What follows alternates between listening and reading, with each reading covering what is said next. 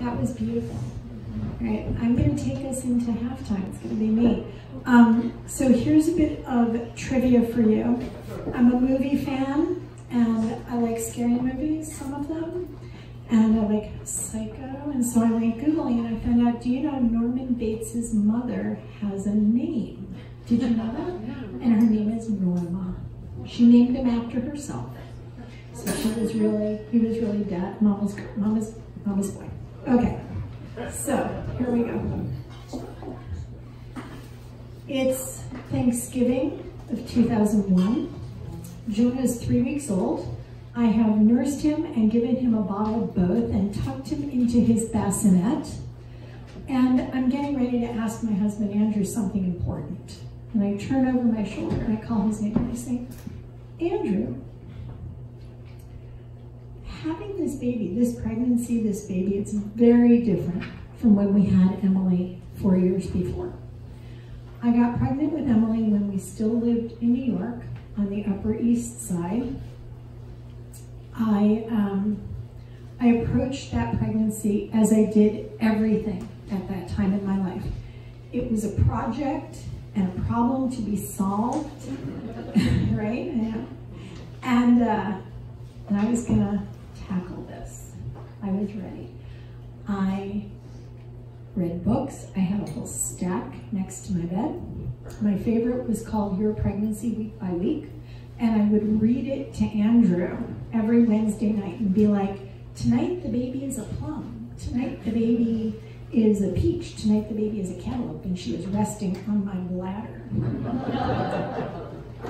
I was pregnant at the same time as my best friend Shelly, which was awesome. It was really fun. It was such a great time in my life.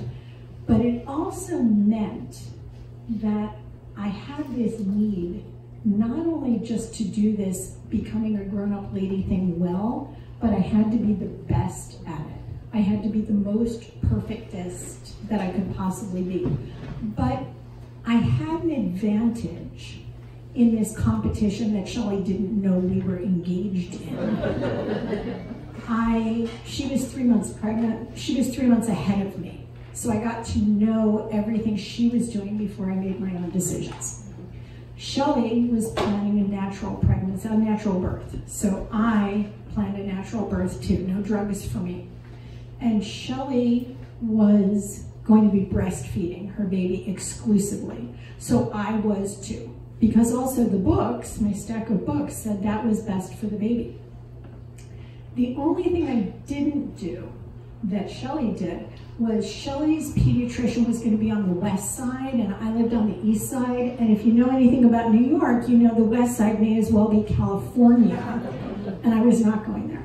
But I did schlep Andrew to appointment after appointment for nine months we went to the obstetrician together to talk about our birth plan and we went to the furniture store to pick out the cribs and we went on pediatrician interviews.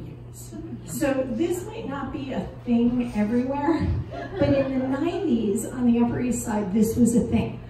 Parents soon to be parents went to meet with prospective baby doctors to talk to them about like their approach to vaccinations and to breastfeeding and all this. And we end up hiring this kindly old nearing retirement age European gentleman.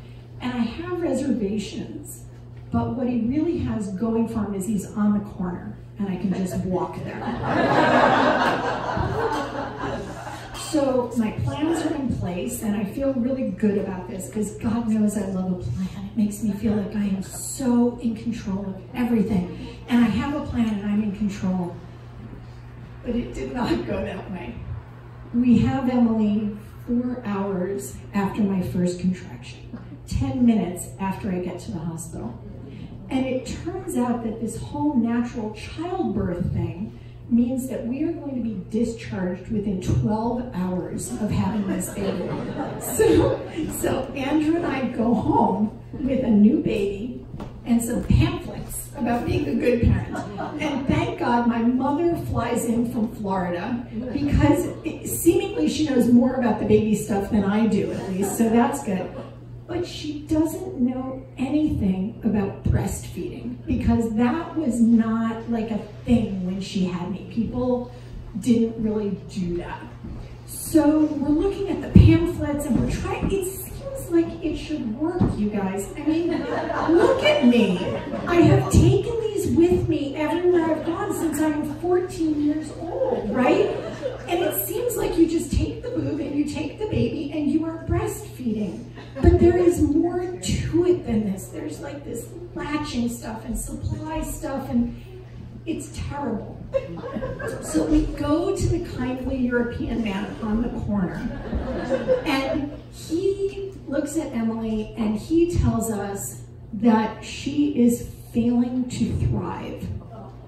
Yeah, so we do what anybody would do in that situation. I fire him. and we hire Shelly's pediatrician on the west side. And we also hire this woman. So we're New Yorkers. I'm a New Yorker, right? I believe there is no problem I can't solve, especially if I can throw money at it. And I hire this woman, this lactation consultant. And she comes in with a three-step plan to increase my milk supply, okay? Step number one, I have to take these herbs that make me smell like maple syrup. Step number two, I have to drink two gallons of water every day. Now, this is like this is the worst, you guys. I'm like a camel. I do not experience thirst the way other people do.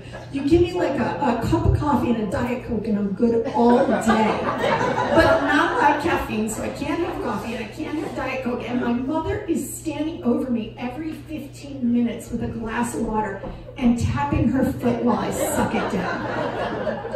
And step number three, okay, step number three is the rented breast pump. Every we have to trick my tits into thinking I have twins. And every two hours, my mother hooks me up to a farm implement. And this thing goes like and we watch the milk dribble into the bottles I am presented with tangible evidence of my own inadequacy and my own failure. And throughout all of this, Emily's crying a lot. And I'm like, what the hell? Do all the babies do this? Why is she so difficult? My mother goes back to Florida, and Andrew goes back to work, and I'm left alone with this baby. And I'm supposed to be nursing her and giving her formula.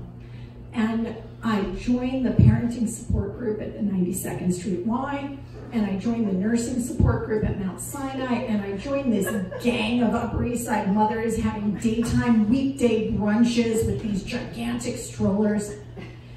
And I start lying to my husband.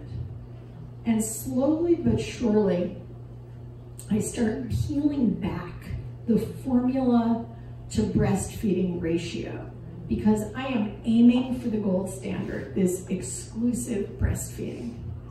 Emily keeps freaking crying, man. That kid will not stop crying. I think maybe she has colic.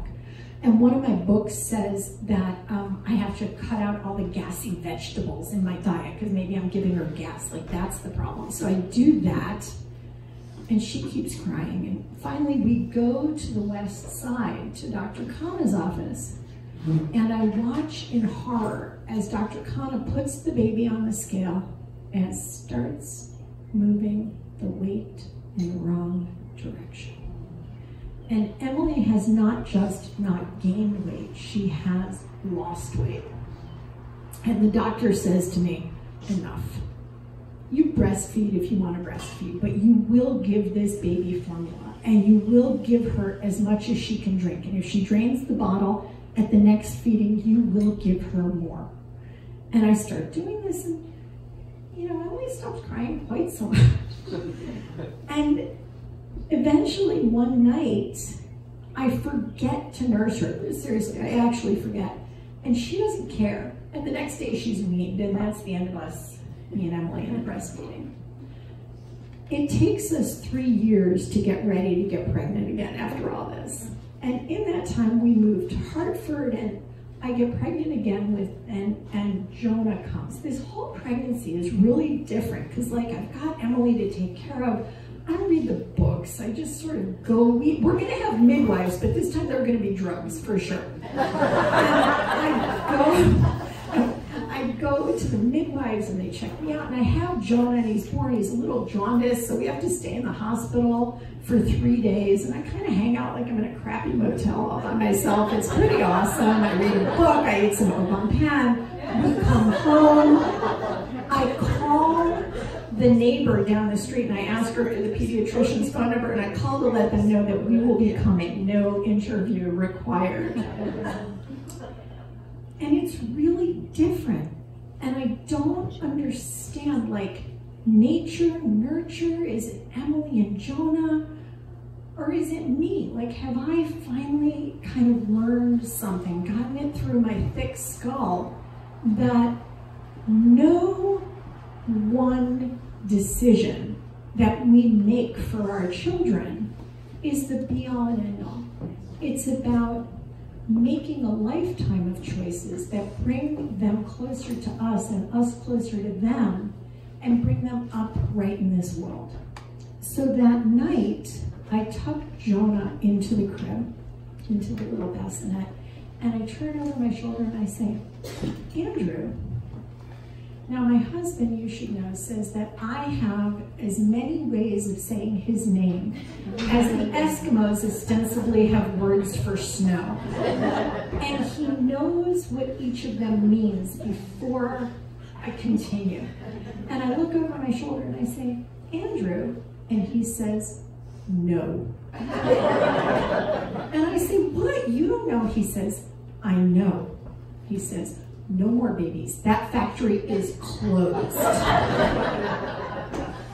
and that was the sum total of our family planning. the next day, Andrew goes to the post office and he buys a sheet of stamps for the baby announcements they have the Looney Tunes characters on them and Porky Pig saying, the, the, the, that's all, folks. and that afternoon, the envelopes and we send out the baby announcements and we're done. Because with Jonah, our family is complete.